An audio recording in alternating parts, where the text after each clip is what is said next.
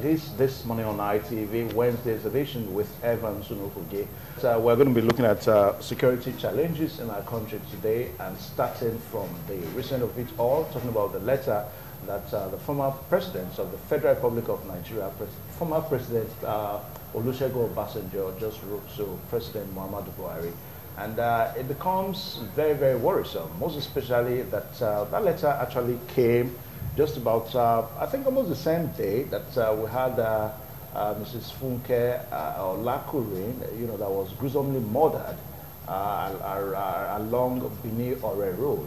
Uh, you know, you know, going somewhere she was murdered. So uh, a lot of people have uh, actually uh, reacted to all that. And uh, also looking at the letter now, it calls for, uh, you know, much attention and uh, also it calls for concerns too. Well, we're going to be having uh, some excerpts from that letter, you know, directing the letter to President Muhammadu Buhari from former President Olusegun Obasanjo.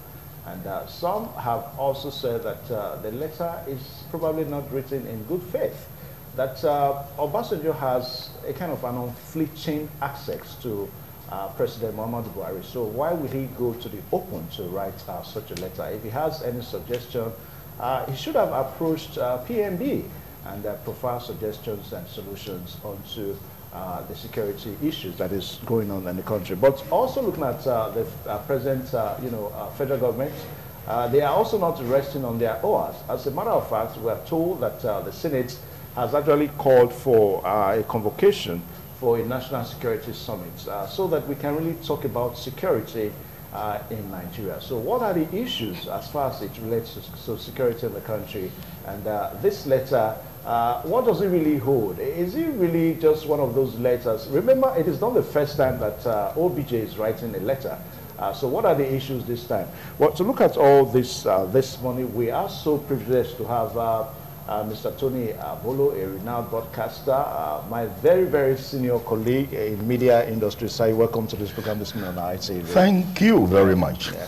And also we have uh, uh, Mrs. Omonigo, uh, Stella Omonigo. Uh, Madam, welcome to this program this morning on ITV. Thank you, and good morning, viewers at home. Yeah, we have a human rights activist with us, Nowita Ibutako. Nowita, you welcome to this program. Good morning, viewers. Yeah. Now, let me start with uh, Mr. Tony Abolo. Now, let's look at uh, the letter. Let me just start by, by reading. Uh, the letter has about 17 uh, paragraphs. Now, it starts by uh, saying that I am constrained to write to you this open letter and of course, I decided to make it open letter because uh, the issue is very weighty and must uh, be greatly uh, worrisome to all concerned Nigerians. And that means all right uh, thinking uh, Nigerians, uh, those residents in Nigeria. Since the issue is, in, is of momentous concern to all well-meaning and all right thinking Nigerians, it must be of great concern to you. the collective thinking and uh, dialoguing is the best way of finding an appropriate and adequate uh, solution to the problem. Uh, the contents of this letter, therefore, should be available to all those who can help in providing effective solutions uh, for the problem of insecurity in Nigeria. That's insecurity in the land. Now, if you go down this letter, there are so many ways you can react to this letter. But let's really start from uh, this point. What do you think is really the motive behind this letter at this time? I don't know. Can can we speculate? We are not your General Olusegun Obasanjo. He wrote the letter and has, he has absolute right. One, as a past head of state. Second of all, as an elder statesman. Third of all, as a concerned Nigerian. And again, people tend to forget who formed SSS in Nigeria, the Secret Security Services in Nigeria. It was Olusegun Obasanjo many, many years ago with Rafindadi so he knows about security and he is concerned as a former soldier. And like he said in that letter, he carries the scars of the Nigerian civil war on him. And his own son carries the scars of Boko Haram uh, uh, uh, uh gunshots on, on, on, on him. So he has a, a, a double feel about this whole thing. Now, so when people begin to impute motive, I want to just perhaps put it this way so that we don't um, uh, uh, uh, I don't belabor myself trying to analyze motive. The issue is this. In Nigeria, Nigerian leadership are forever deaf and dumb. they never listen to anybody except to themselves. No, but, but you No, can't say no, no, no. Uh, yeah, Just well, take, that, that would take- categorical. No, no, no. I, mean, I don't know. subjective. Listen, at my age, I should see. It is time now to begin to speak the truth. Because you see, when you're busy coddling and being nice, Nigerian leadership never listens. It's when you are rude, you're insulting, then perhaps, and then you say something shocking, then they begin to listen. So that's why these things have to happen. So it is the way Nigerian leadership ever listens to its people. And this is all around. I'm not talking about only political leadership. Everywhere. That's the attitude. There's arrogance in when people have power. Then you have to remember, people say, oh, he has unfettered access to PMB. Unfettered access in Nigeria. It is not just possible because they don't listen. And why don't they listen? You see, look at the, the security architectural uh, management in Nigeria, held by one tribe, one religion, one region. It makes it difficult. You see, I'm not looking at creative thinking. If you are coming from one area, you think in one particular direction and you can be in error.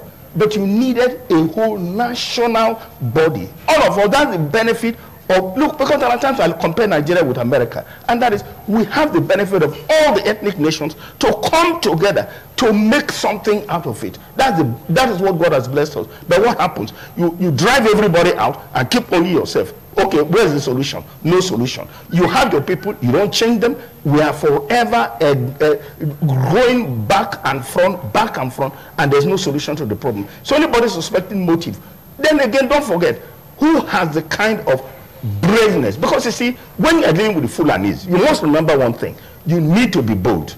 If you're going to be timid, nothing is going to happen. And so he's the one who has the courage. He's the one who can confront them and bite the bullet, as the Americans will say. And like they say, even if he has to go to jail, so be it. But how many of us have the courage even to confront the leadership? You hear people keeping quiet all over the country. Why should people keep quiet? I mean, this is an existential threat. Are we going to allow ourselves to die? Somebody shout, somebody shouting, and somebody is eh, talking about motive.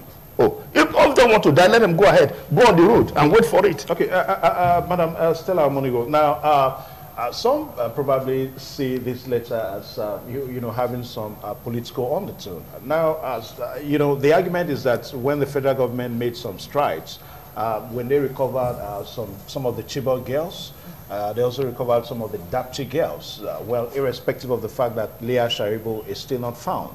Now, uh, some say that Olusegun Obasanjo did not write any form of commendation letter to commend the federal government on its gains, uh, you know, fighting insecurity and all that. And now he's writing. So, do you think this letter has any political coloration? You see, unfortunately for us, for us to be politicizing the security situation of the country is very, very unpatriotic. And as a follow-up to what our comrade here just said, if we're talking about the, that letter, the content of the letter, we should not be belaboring ourselves with either uh, the political undertone or the motive of the letter. The question is, i- are the content of the letter true? Is there any altar of truth in that letter? If there is, what is the way forward? Now you're talking about commendation letter or not. We are we sure that actually this there was anything like Chibok girls? That you know, I've been telling you that that one is relative. It was a kind of political propaganda. But even if that Yeah, if but, at but all, we saw some of the girls that Mr. were Evans, released. even if at all, that, that's, the list, that's the list of our problem right now in Nigeria. In fact, by the time he was re-elected, when I came on board the first time, I told you, I said, should, we should stop talking about all these uh, corruption issues and let us deal with security issues because that's the major thing. But unfortunately, the matter is going down every day. The insecurity level is rising by the day. Is there any truth in it? Do we have Fulani herdsmen attacking people? Do we have insecurity in the nation? If if yes, the man did not only call on uh, uh, on the on PNB, the man called on all Nigerians and anybody who can provide solution to this problem in Nigeria because it is high time we all agreed that we have a problem in Nigeria and the problem of insecurity. In fact, let me tell you, we are sitting on a time bomb that can explode at any time. Is it when it explodes that we start looking for, for, for a solution because of our political affiliation, because of our religious affiliation, then you see the truth and you don't want to say the truth. It's very much unpatriotic of Nigerians to be, to be politicizing that, that letter and to be reading negative, you know, tones on, in that letter. That is not right. Now, I went through that letter very well, and what he was trying to say is that, look, we have a problem, a common problem, and that people are being instigated and being provoked tribes are being provoked into action. Now if there is a retaliation of these people you think nobody has monopoly of violence. If another tribe comes up now to say look we are going to retaliate how do you think nigeria will what will what will become of nigeria? Of course it will result into a civil war. And people who experienced civil war eh, before have been telling us and have been warning us that nigeria cannot afford to have another civil war. Of course this man knows about it so what are we doing about it. Okay, now Nowichai Butako, uh, there's no doubt that Olusegun Obasanjo is at, is at it again. In an yeah, expanse yeah. of uh, uh, five, six years now, he has written three letters. Now, what do you think is his, uh, what do you think is his, his aim? What does he really want to achieve with all this? Well, uh, first of all, it's quite unfortunate that we have a security situation that is uh, alarming. And to start with, why did Obasanjo not write letter when common people were being killed? Let's, let's, let's, you know, is it because Olakunle, the daughter of uh, Afenifere chieftain, had been brought down, that Obasanjo was writing letters? Because I speak for the people. The people are being mowed down every day. The people, uh, you know, so what are we talking about? See, uh, it's unfortunate that uh, the elite, they, they, they, they, they protect themselves. The yeah, elite but, but are coming. Yeah. yeah, because is it Olakunle that had been that that been uh, you see the one that been killed recently? It's Funke, Funke. Oh, sorry, Funke Olakunle. Olakunle. Yeah. So so so looking at that. Yeah, now, but, but I think we should put things in the right perspective. Can I give my information? No, no, because there's no there's no part of that letter where uh, it stated that it was written because. Well, that letter was written when you started talking about motive. Yeah, just whether that there was any motive yeah. or how do I feel. For me, what Obasanjo has done uh, is is pain to the gallery. The man is not a super statesman. He's not the first statesman that we have had in this country. You understand? And so uh, it, it, I, I see political undertones. Though regrettably, the, the, uh, the security you know, uh, situation in the country. But looking at it, I, I don't see it from patriotic angle. The man is selfish, he's selfish, and he had gone through the, the, the leadership process, and we know what he did. You see, so the point I'm trying to make is this. When Jonathan was in power, we had security situation. We saw bombings you know, left and right, and what have you. So that, that is not to say that, we are not saying that the president administration should not handle security headlong. You understand? But looking at Obasanjo as a person, he's a wrong guy doing what he's doing. Because when he was in power, we know what he did. We, we know the sins. We, we, we know the atrocities. For me, Obasanjo is a tragedy. And we just go to the elections. This man has a political hatred for this government. Okay, I, I, I, I, I, want to respond to it. Please, I want to respond. Allow Stella. No, he has a you're the one to respond. Yeah, he has a political interest for this government. Okay, now I, I, you're done. I'm not done. All right. So because so and uh, just, just I somebody a while ago, we know the challenges confronting this government. This government is not a first-class government, and I've said that this is not the kind of government that ordinary people want in Nigeria. But we have we have a situation where the political atmosphere has been emasculated the political process has been taken over by the elite and we now have a president that is sitting what do we do we have to solve the security challenges and for a security summit and for solution to the security problem but looking at the character that is dishing out this letter. thank you. Um, please, okay, I know let, that let, our veteran can round it up. Uh, let me let me respond. All right, now, uh, uh, uh, Mr. Tony Abolo, now uh, you heard what uh, Nowichai Butako said. Uh, at least you have uh, the right to respond to some of the issues that he said. But I also want you to look at the uh, look at the, the letter this way. Uh, because for some, some say that this letter is capable of uh, being incisive. I mean, to incite the public to go to take arms and all that. I mean, happening at this time. Do you see it in that uh, way? Definitely, that is that is a bogus theory, very bogus. Look, Nigeria, like Stella said, we're sitting on a time bomb.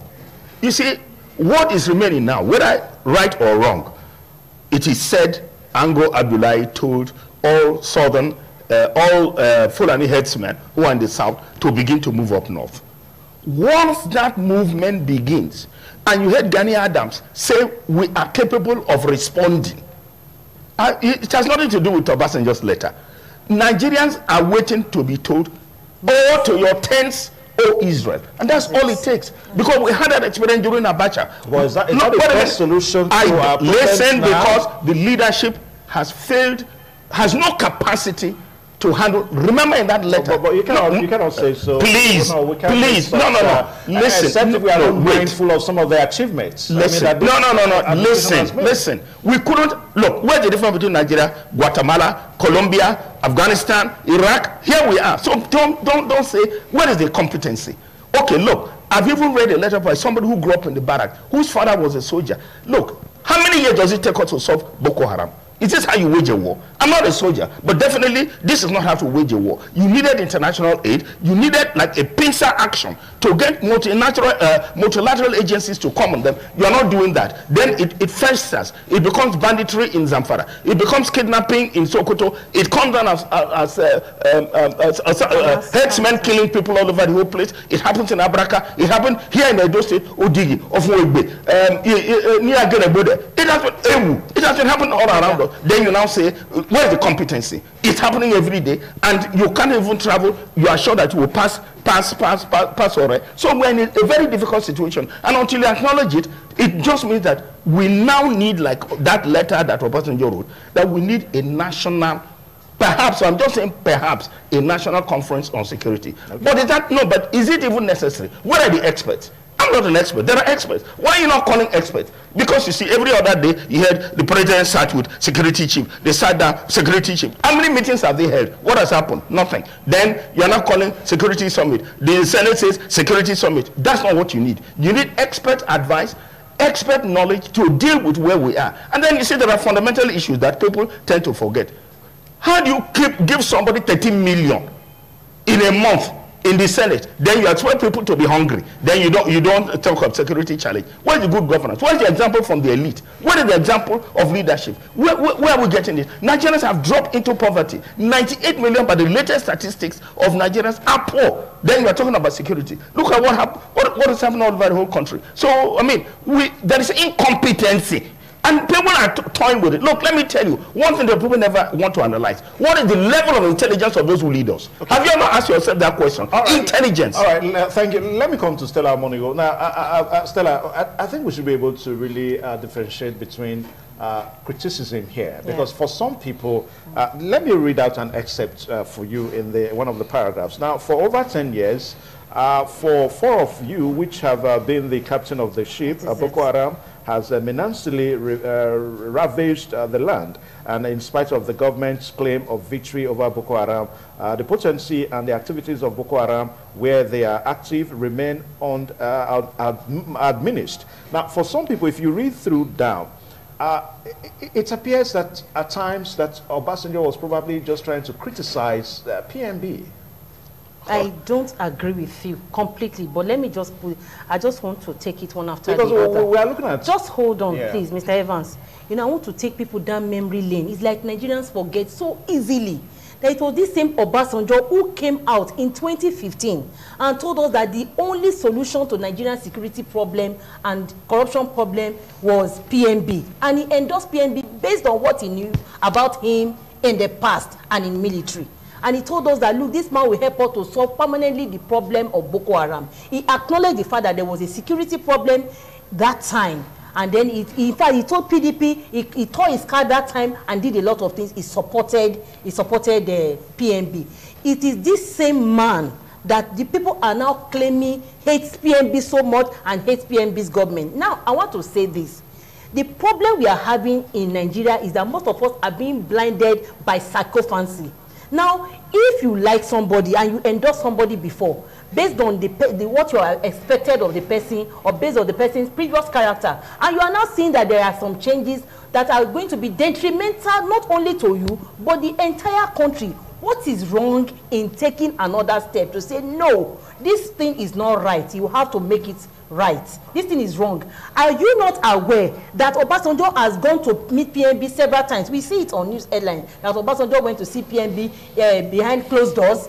Not once, not twice. I'm sure they were discussing issues. And then when the poor man will see that nothing is coming out of whatever issue they discussed behind closed doors, he decided to write you know letters. And this particular letter look let me like i said before let us not be blinded whether obasanjo has been writing letters before and have been criticizing pnb on. The truth about it is that he did not exempt himself from the from the insecurity problem of nigeria because he started from ten years previous and then talked in he graduated by telling us how this issue now uh, have now graduated the issues have now graduated the insecurity problems have now graduated from you know the periphery now to all parts of nigeria. Of course he also went ahead to tell us it started from the northern part of nigeria but now it is infiltrating middle belt now is a no-go area and now it's coming to the south and now to the west. Like we said before you cannot sleep with your two eyes closed. And nigerians are telling me that obasanjo's letter is unpatriotic and should be forgotten it should not be forgotten. What the man said there is that let there be a summit a security summit. Let them call let them declare state of emergency. Of course we are in a pro we are we are having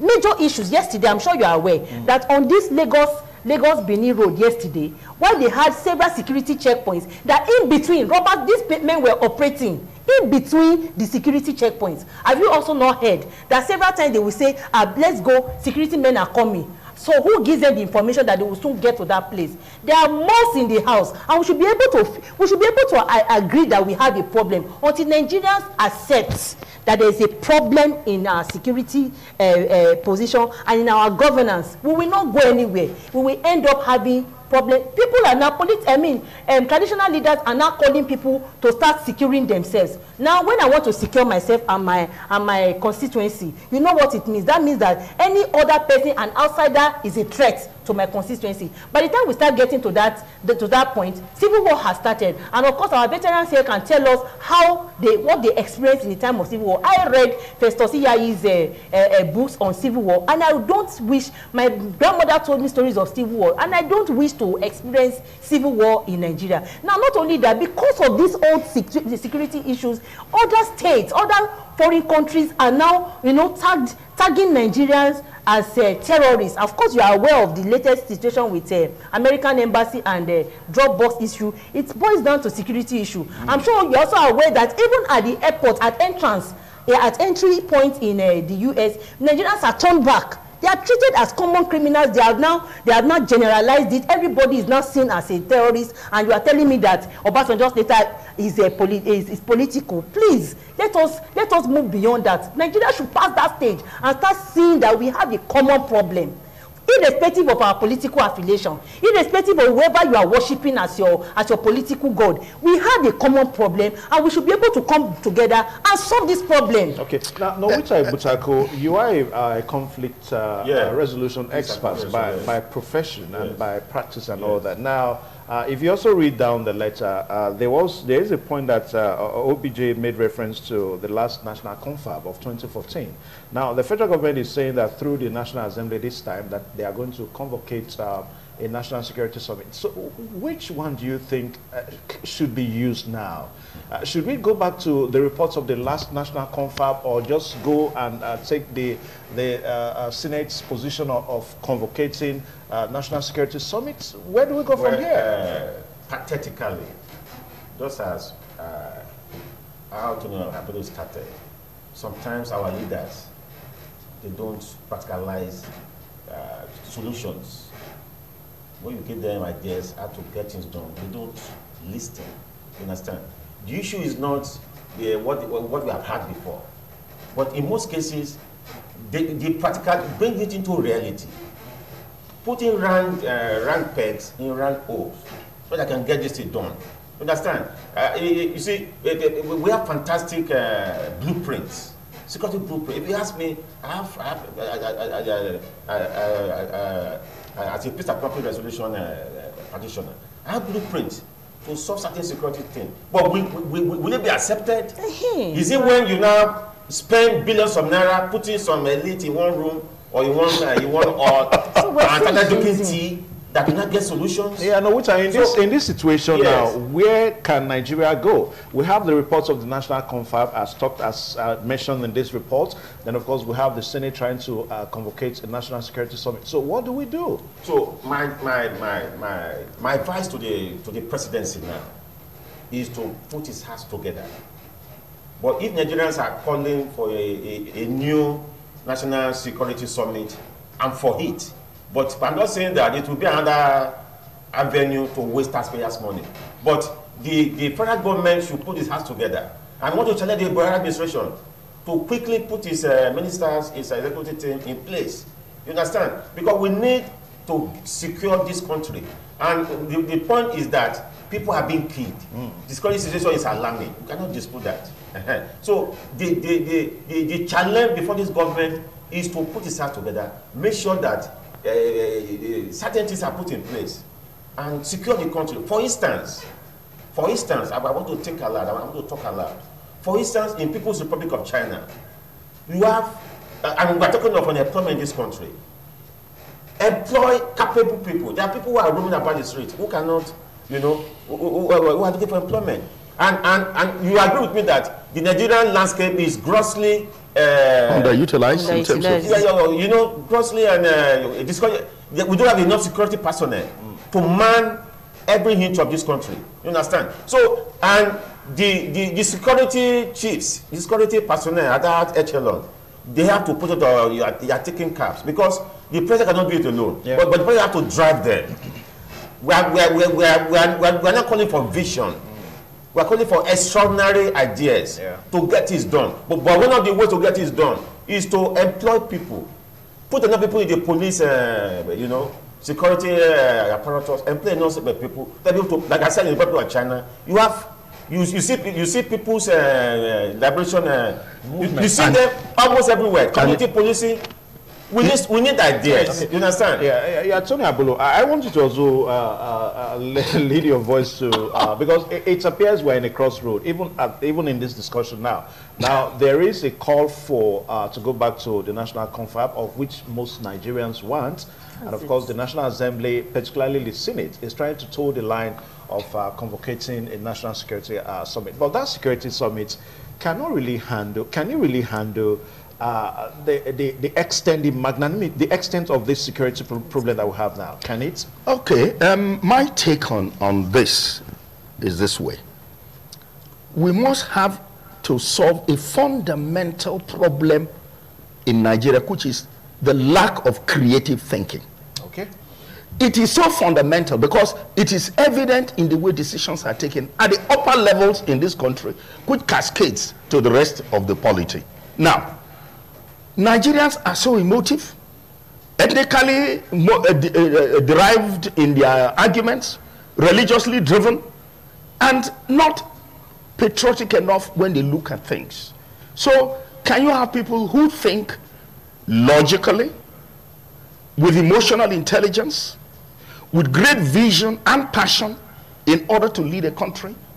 Where are they? Because you see, until you get those people, even if you're going to call another confab, what happens is, as soon as we gather again, a southerner is looking at the problem from a southern perspective, mm -hmm. a northerner is looking at it from a northern perspective, mm -hmm. then an easterner, a westerner, an Efik, a this, and a, until you get people who are de-tribalized. Because this is where the problem now of Nigeria is. And I made a mention of something which you, you may not even take cognizance of. You can't have, look at the security architecture. As soon as they go into the room, they went into the room, came out with Ruga. All right? That is all their brain could tell them, Ruga. Then Garba Shehu, who is the presidential spokesman, says, We have come and we have thought and we have thought. The presidency has thought. What are you thinking? Pre what's presidency? Is it President Buhari and his wife? Is presidency? What is the cabinet? I mean, you know what is called a presidency? Mm. That is getting the best of Nigeria to come together to articulate a position yeah. with expertise. And if need be, get expertise from outside of the country.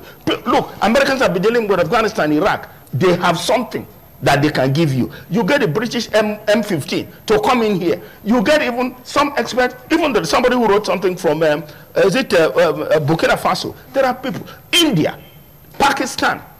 You don't use them. Whom are you using? Who is training you? Who's talking to you? I mean, here we are because you see, look, we must go back even to the fundamental. And the most fundamental again is to look at the Constitution. And I'd like to draw everybody's eyes to chapter 2 of the Constitution. Of the Constitution under fundamental objectives and directives of state policy. Section 14, subsection 26, where it is expressly stated that the security and welfare of the people shall be the primary purpose of government. If there's nothing else you do, it is security and welfare of the people. And when I say you say I shouldn't use the word incompetency. How do you have a country dissolving before your very eyes? I mean, I'm 76 now, and I've seen this country come from its glorious days to where it is now banana. We are a failed state, and some of us are very worried. Because even if I'm not worried about myself, because like like no, what do you want me to say? Like Clark will say, we are the boarding pass. You're carrying a boarding pass to go into the aircraft. What about our children? What about our grandchildren? What about their families? What about other people? Should we not be concerned? And therefore, when government cannot sit down and do its primary function, that Nigeria is a failed state, it's a pity that after 59 years, we're not talking about satellite. Look at Rwanda. Rwanda just done satellite mm -hmm. to have interconnectivity mm -hmm. of schools. Um, China is sending its people to Ivy League institutions in, in, in, in United States, and they are going to study robotics, artificial intelligence. That's what we're talking. We're India is up in space. We're not doing that. You're talking about cattle and colonies.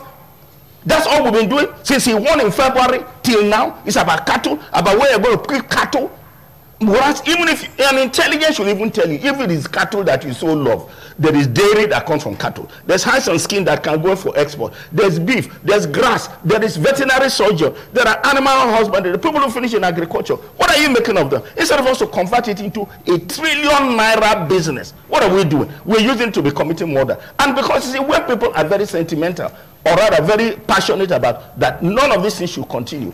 Is that they use that's the taqiyya of the islamic faith they now deceived us you allow cattle to be roaming then when they are roaming they carry gun carry this and uh, uh, come into yeah, your yeah, yeah, but, so, but I no. want us to be mindful of that uh, no. because uh, there, there, are some very good people that carry cattle around and they do their job. I'm just saying people use that as a decoy yeah. to come into this insecurity problem. And we're saying, look at it, even on a major scale. Should you be running a country where Northeast is in flames, Northwest is in, in disaster, middle belt, middle belt is bad, then South is this, then how do you, I mean, does it, how does the president go to bed feeling that I'm running a country and there's nobody who is safe? Okay, now, Can Stella, I lend my yeah, voice Stella, as you lend your voice now, now you see, uh, Tony just quickly made reference to Rwanda, and yeah. most of us there will quickly point at Rwanda.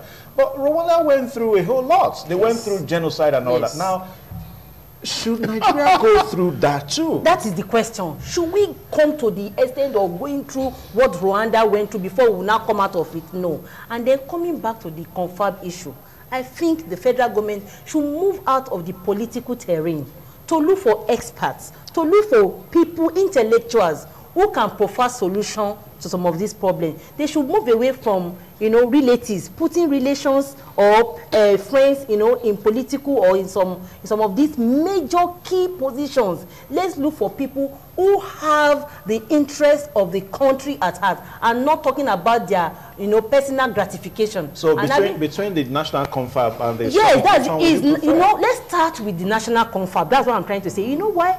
It took time for them to constitute the members, the people who know uh, to attend that confab, and it was yeah, it but, was but on. Please hold on, hold on, hold on. It was, was on for a long time. The argument was that uh, the way most members were constituted was not done well. But I know that we had so many intellectuals, at least I know that ASU members were involved. Mm. And of course, we heard it took time and the country spent billions of naira, of naira yeah. on that confab. Now, my point is that let them make that report available.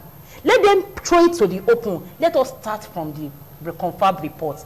I'm not saying that this particular security summit is bad. It can also, everything can help right now. But let's start with the confab. Okay. Please, Frank, no, no, just a minute. Yeah. I, since you threw up the Rwanda thing, I want to use that as a public way of pointing an example because I teach it as a model of development and we define it as authoritarian democracy. Mm. It looks contradictory as mm. a terminology. Mm. Why do we use it as a, as a model? It's a model because Paul Kagame was a former secret service man he came with all the zeal of making Rwanda recover. And he came to be a father figure. Father figure. In that place, you don't refer to anybody's ethnicity in Rwanda.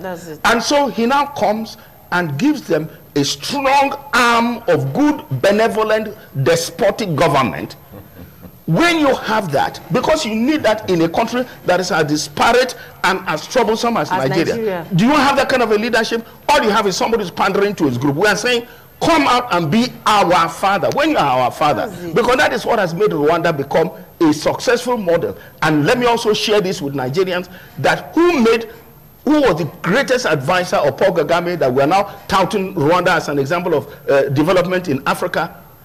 Oby Ezekwesili was the advisor to Paul Kagame. The Nigerian? The Nigerian. Just like Idi Kakalu was the advisor to Korea. He left for World Bank.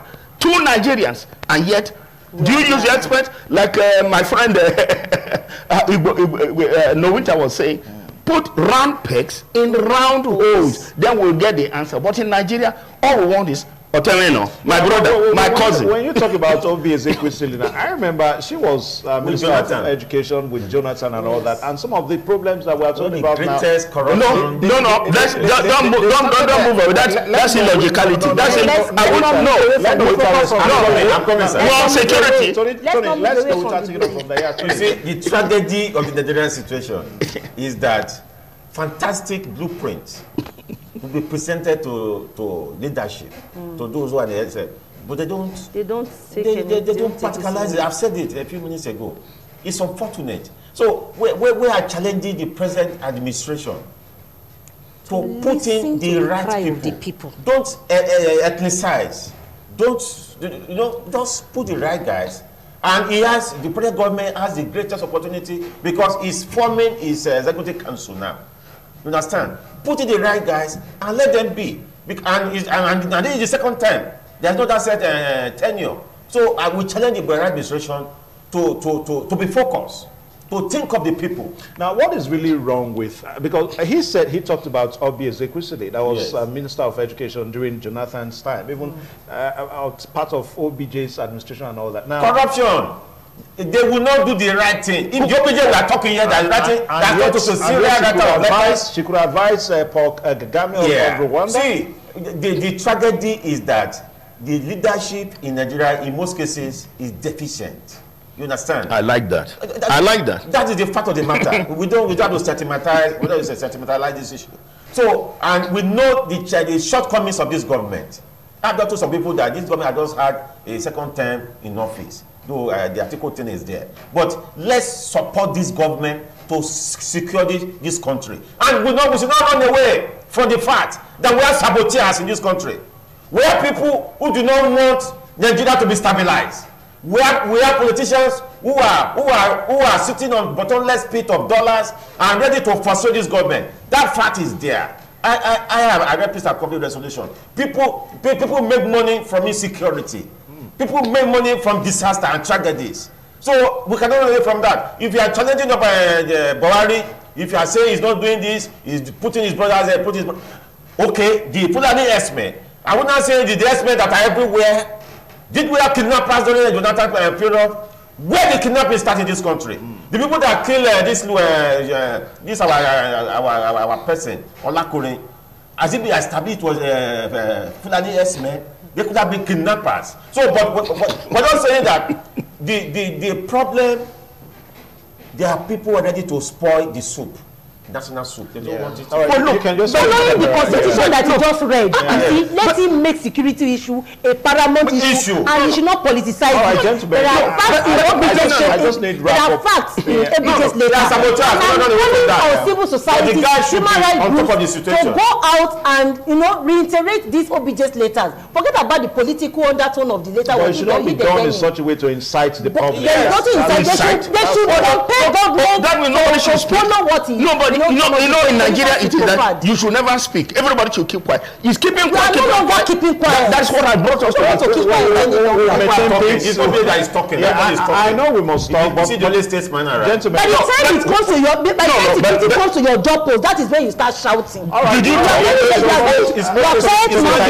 Thank you so much. I hear you, friend. Did you talk? You didn't. You didn't talk. I'm a columnist. I write every day. So that other segment can come your way. Thank you so much, gentlemen and our beautiful lady here. We, can, right. we can't, uh, we can't exhaust this discussion. we can't exhaust it.